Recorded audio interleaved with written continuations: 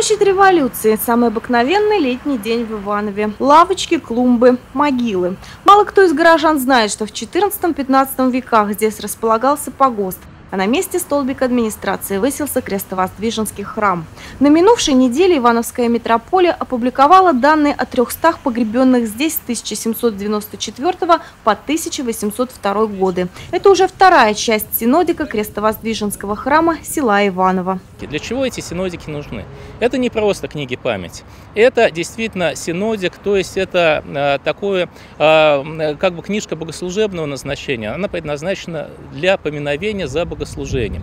Мы молимся обо всех, обо всех этих людях, потому что у Бога мертвых нет, у Бога все живы, и церковь объединяет тех, кто жил до нас, тех, кто живет сейчас, и э, будущее поколение, они тоже входят в тело Христово, тоже составляют с нами одно целое. Во времена наших предков церковь выполняла множество социальных функций. Все ключевые события в жизни – рождение человека, венчание и погребение – фиксировали именно священнослужители. Хоронили тоже близ храмов. В метриках есть информация о том, как звали усопшего, его происхождение, сколько ему было лет и от чего он умер. Игумен Виталий Уткин рассказывает, сейчас оцифрованы все метрические книги по Иваново-Вознесенску. С расшифровкой материала помогают простые прихожане. Мы видим а, по нашим синодикам, что в конце 18 столетия люди жили достаточно долго.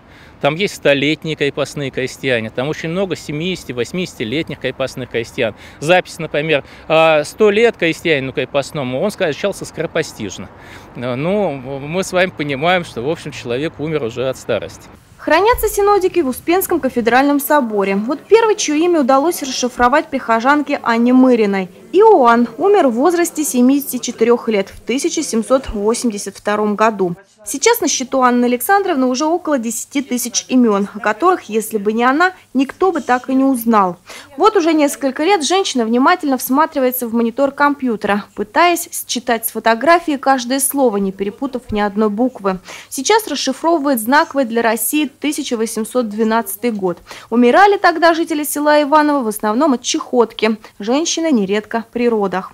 Летом очень много детей умирало, очень много детей, потому что у нас сейчас холодильники есть, а раньше не было.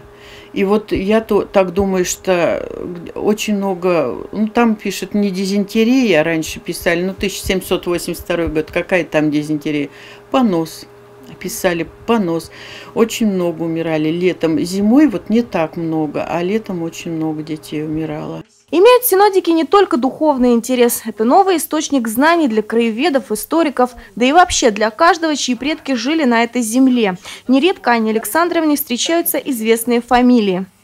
Дюрингер, но его не взяла, потому что он не православный. Келин – тоже не взяла. Он, по-моему, протестант, тоже не взяла. Грачевы, Грачевы, который вот э, его дом около Белой церкви.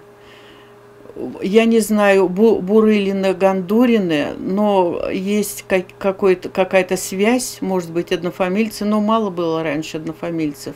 Площадь революции, дворец искусств на площади Пушкина, химико-биологический факультет ИВГУ на проспекте Ленина, так называемый сад живых и мертвых на Смирнова. Вот далеко не полный перечень мест, где хоронили наших предков. Священнослужители поясняют, на эти объекты они никоим образом не претендуют. Задача одна – сохранить память, раз уж не удалось сохранить памятники.